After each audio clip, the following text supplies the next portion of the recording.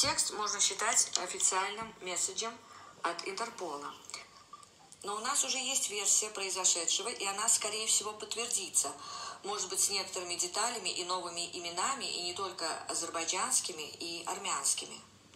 Начальником подразделения или части, где произошло это трагическое событие, был человек, позже оказавшийся на скамье подсудимых за совместный бизнес и коррупционные связи. Этот самый начальник в свое время имел полное досье на каждого курсанта, и он хорошо знал, кем является Рамиль Сафаров, а именно то, что Рамиль Сафаров – племянник капитана Энской воинской части, имеющий много успешно завершенных операций в период Карабахской войны и нанесший урон врагу. Рамиль Сафаров и был послан на курсы вначале в Турцию, а потом в Венгрию, чтобы продолжить э, патриотические и военные традиции своей семьи.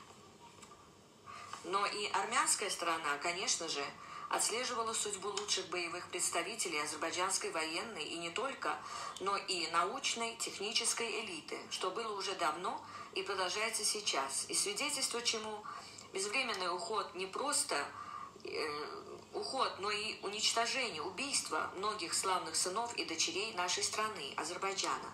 Таким образом, судьба Рамиля Сафарова, конечно, была предрешена, но дело повернулось неожиданно в другом направлении и приняло другую форму. То есть произошло то, что было неожиданным. Сценарий был совершенно другой. А именно то, что Рамиль Сафаров, доведенный до отчаяния, Вступил в рукопашный бой и в результате, схватив топор, использовал его в виде холодного оружия.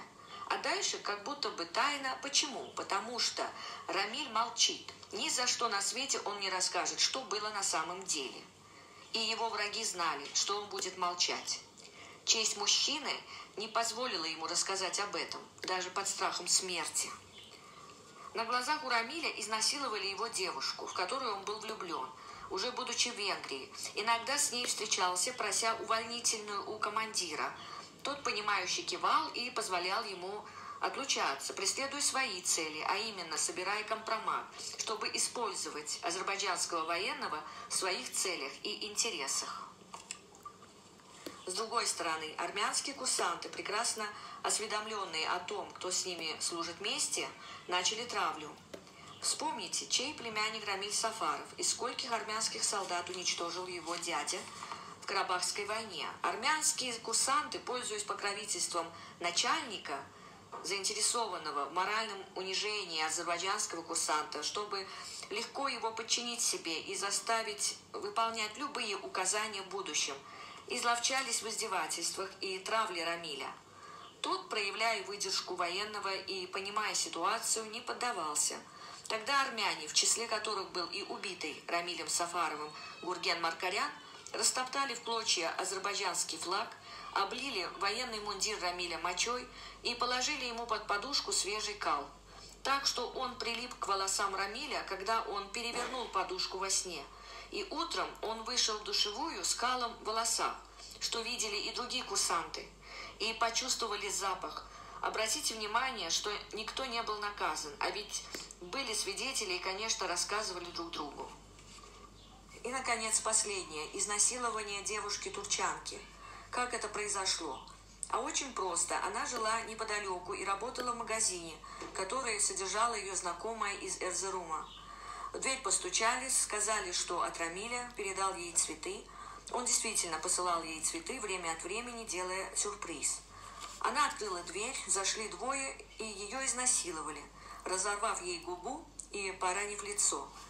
Девушка не обратилась к врачам и не выходила на связь с Рамилем. Вообще не выходила из дома, а потом незаметно уехала в Турцию, так и не попрощавшись с ним. В чем было дело, он не знал, думал, что был другой. В магазине молчали, сказав, что она уехала.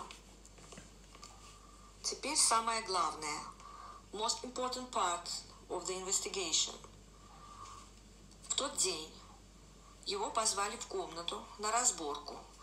Дверь была заранее открыта. Его ждали, он и вошел. После недолгого разговора на повышенных тонах оскорбили его девушку и показали ее фото. Эти фото уже есть у закрытого следствия. Осталось только, чтобы их обнаружили в дополнительном официальном расследовании, для чего оно должно обязательно начаться именно по требованию Европейского совета по правам человека, потому что это уголовное дело переросло в страшное продолжение того же самого преступления в отношении Азербайджана. Этот текст считайте официальным месседжем от Интерпола. Bəli, dəyərli vətənlər, dəyərli Azərbaycan xalqı. Hər kəs bu videonu böl bölüşə bilər, paylaşa bilər bütün informasiya vasitələri e, ilə.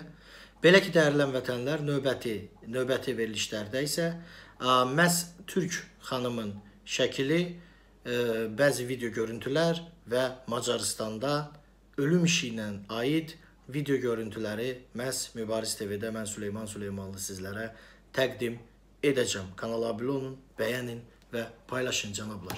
Hələ nələr olacaq, nələr. Heydər Əliyevin erməni olduğuna dair Amerikadan sübut. Heydər Əliyev kimləri dərmanla öldürmək istəyib, öldürüb, yaxud öldürəcək. Və sair və ilaxır videolar hamısı məhz Mübariz TV-də Amerika Birləşmiş Ştatlarından gizli səs yazıları ilə CIA. Sağ olun.